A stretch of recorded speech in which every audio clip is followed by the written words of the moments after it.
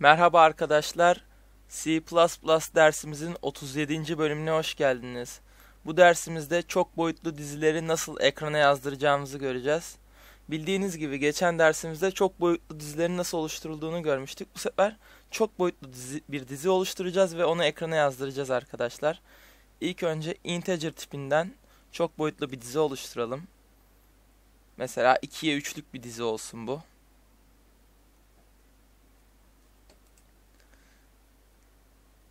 2'ye 3'lük bir dizi ne demek arkadaşlar? 2 satır 3 sütundan oluşan bir dizi.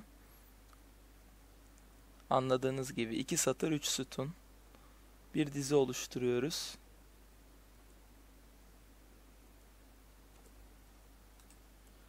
Gördüğünüz gibi bu birinci satır 3 elemanı var. Birinci satırın 3 elemanı 1 2 3 veriyorum. İkinci satır ikinci satırın 3 elemanına da 4, 5, 6 veriyorum arkadaşlar. Gördüğünüz gibi. Oluşturduk dizimizi. Ardından dizinin elemanlarını tek tek yazdırmak için bir for döngüsü oluşturuyorum.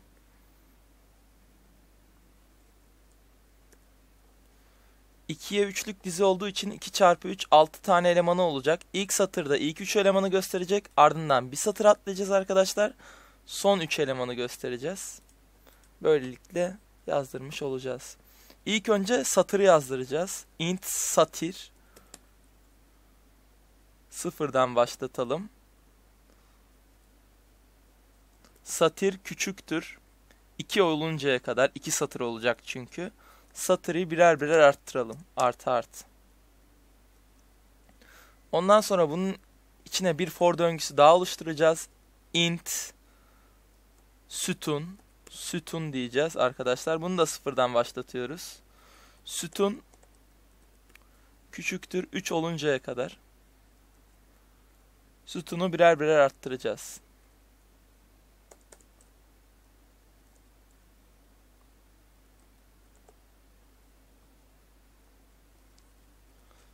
Gördüğünüz gibi arkadaşlar iç içe iki tane for döngüsü oluşturmuş oldunuz.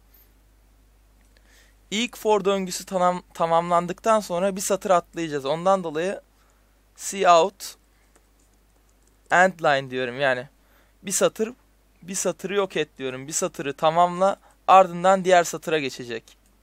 Bu da şöyle olacak arkadaşlar. Dizinin her bir elemanını tek tek çağırmam lazım. See out dizinin ilk önce satırı yazdıracak. Ondan sonra sütunu yazdıracak arkadaşlar. Satir. Sütun diyoruz buraya da. Ve birer tane de boşluk olacak. Güzel gözükmesi için. Noktalı virgülle de sonlandıralım. Şimdi arkadaşlar programı çalıştırmadan önce size nasıl çalıştığını anlatacağım. Satır 0 diyor. İlk önce bu sıfır değerini alıyor. Dizinin satırı sıfır değerini aldı. Dizinin sütunu da ilk başlatıldığında sıfır değerini aldı. Anladınız mı? Sıfıra sıfır değerini aldığı zaman ilk eleman olan biri bastıracak. Ondan sonra for döngüsü bir daha dönecek. Sütun e, sütun bu sefer bir artacak. Satır değişmiyor arkadaşlar. Şimdi bu iç içe for olduğu zaman nasıl oluyor biliyor musunuz arkadaşlar? İlk önce en en içte bulunan bu for bu for döngüsünü tamamladıktan sonra yukarıdaki for bir artıyor yani. Aşağıdaki for kendisini tamamlamadan buradaki for değeri bir artmıyor. Satır değerinin artması için ilk önce sütunların hepsinin tamamlanması lazım. Yani satır sıfırken ilk önce satır sıfıra sıfırı yazdırıyor. Sonra satır sıfırken sütun biri yazdırıyor. Satır sıfırken sütun ikiyi yazdırıyor.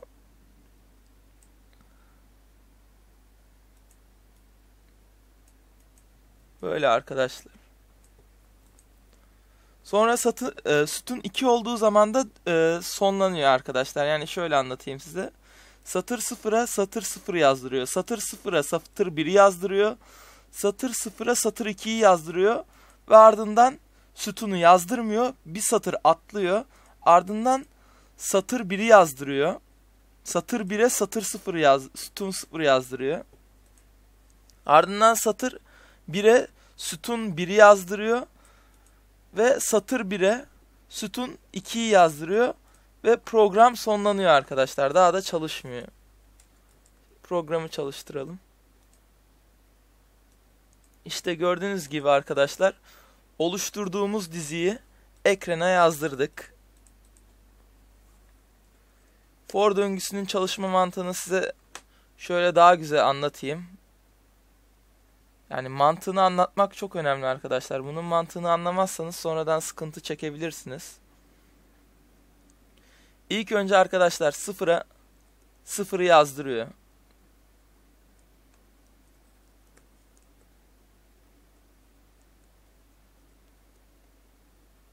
Hatta size bunun mantığını şöyle daha iyi anlatabilirim. Mantığını anlatmak için konuşuyorum.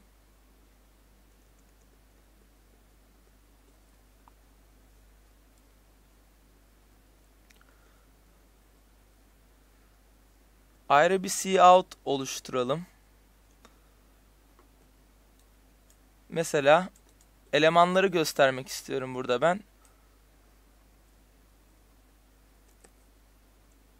Satir bir boşluk sütun diyorum. Şimdi arkadaşlar bu yaptığım şeyle ben neyi anlatmaya çalışıyorum? Hangi elemanları yazdırdığını göreceksiniz ekranda. Çalıştırıyorum programı. İlk önce arkadaşlar şuraya bir şöyle bir işaret koyalım daha anlaşılır olsun. Şimdi arkadaşlar program ilk ilk çalıştırıldığında döngü ilk çalıştırıldığında sıfıra sıfır yazdırdı. Sıfıra sıfırdaki olan eleman 1 oluyor. Ondan sonra sıfıra birdeki elemanı yazdırdı. Sıfıra birdeki eleman 2 oluyor. Ondan sonra sıfıra 2'yi yazdırdı. Bu da arkadaşlar şey oluyor. Sıfıra 2'de olan da 3 oluyor. Ondan sonra 1'e 0 yazdırdı. Bu 4 oluyor. 1'e 1'i yazdırdı. 5 oluyor. 1'e 2'yi yazdı, yazdırdı. Bu da 6 oluyor arkadaşlar. Şimdi programın hangi hangi satıra hangi sütunu yazdırdığını böylece göstermiş oldum.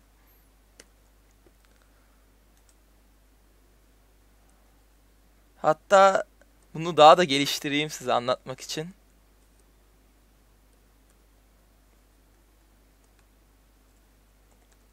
Dizi konumu desin burada. Burada da desin ki konumdaki eleman. Direkt eleman konum yazsın. Arkadaşlar konumu göstersin, elemanı göstersin. Eleman diyelim. Bir boşluk. Dizinin satıra sütunu. Satıra sütunu. Tamamdır. Bir tane de boşluk. Çalıştıralım.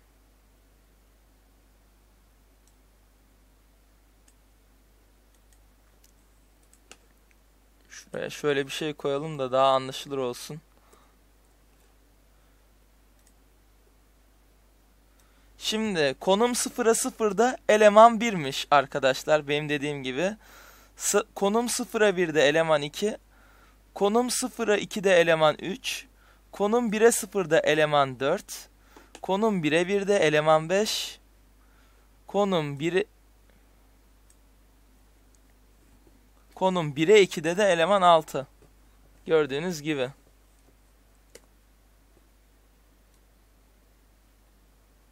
Böyle de gösterebilirsiniz arkadaşlar. Şimdi döngünün nasıl çalıştığını anlatmak için size bir örnek daha yapacağım. Yani bir dizideki elemanları tek tek nasıl ekrana yazdırabilirsiniz için. Bu sefer farklı boyutta bir dizi yapalım. Mesela diyelim ki 5'e 5'lik olsaydı dizi ne yapacaktık? Mesela dilim, dizinin elemanlarının hepsi 1 olsun arkadaşlar. 1, 1, 1, 1. Örnek bu.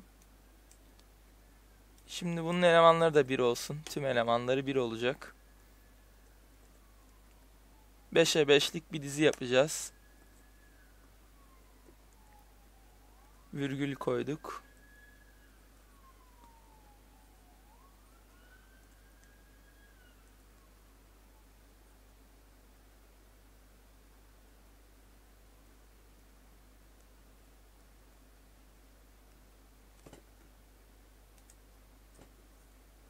5 satır 5 sütun olacak arkadaşlar. Birinci ve ikinci satırı yaptık. Şimdi üçüncü satırı yapıyoruz.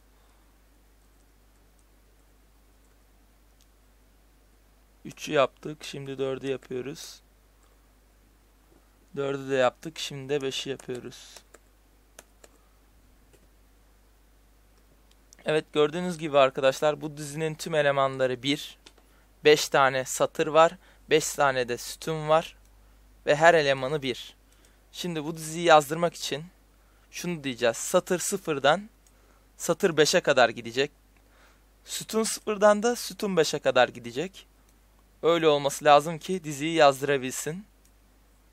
Ondan sonra dizi diyeceğiz arkadaşlar. Satırda sütundaki elemanı yazdıracak.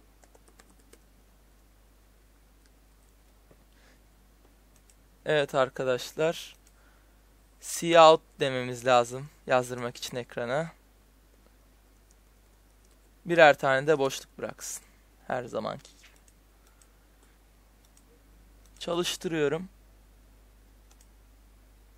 İşte gördüğünüz gibi 5'e 5'lik 5'e 5'lik çok boyutlu dizimize ekrana düzgün bir şekilde yazdırdık. Görsel olarak da gözükebiliyor. Tüm elemanları 1, 5 satır, 5 tane de sütun.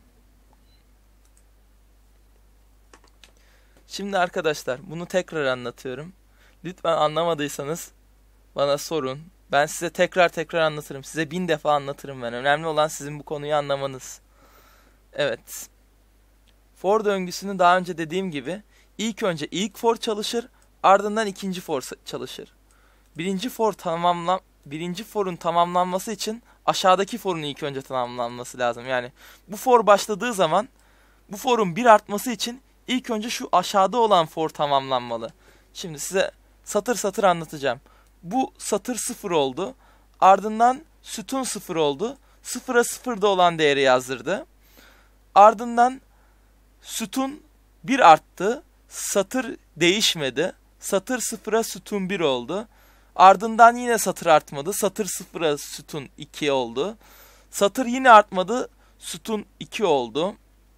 Satır yine artmadı. Sütun 3 oldu. Satır yine artmadı. Sütun 4 oldu. Satır yine artmadı. Sütun 5 olduğu zaman buradaki for'dan çıktı. Çünkü artık 5, 5 küçük 5 değil. Bu sefer satırı 1 arttırdı. Satır 1 oldu. Ondan sonra sütun 0 oldu. 1'e 0 yazdırdı. Ardından satır değişmiyor. 0'a e, 1'i yazdırıyor. 0'a 1'e 0 yazdırdı. 1'e 1'i yazdırdı. 1'e 2'yi yazdırıyor. 1'e 3'ü yazdırıyor. 1'e 4'ü yazdırıyor. Ve çıkıyor. Ondan sonra satır yine 1 artıyor. Satır 2'ye 0 yazdırıyor. 2'ye 1'i yazdırıyor. 2'ye 0'ı, 2'ye 1'i, 2'ye 2'yi, 2'ye 3'ü, 2'ye 4'ü, 2'ye 5'i yazdırmıyor. Çünkü 5 olduğu zaman burası tamamlanıyor. Bu sefer satırı yine 1 arttırıyor.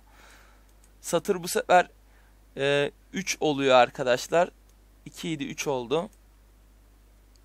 Sonra 3'e 0, 3'e 1, 3'e 2, 3'e 3, 3'e 4 oluyor. Ondan sonra 4 oluyor satır. Satır 4'e 0, 4'e satır 4 sütun 0, satın 4 sütun 1, satın e, satır 4 0 her neyse karıştırdım. Siz demek istediğimi anladınız herhalde. Bunu da geçiyorum. Gelecek dersimizde görüşmek üzere arkadaşlar. Hoşçakalın.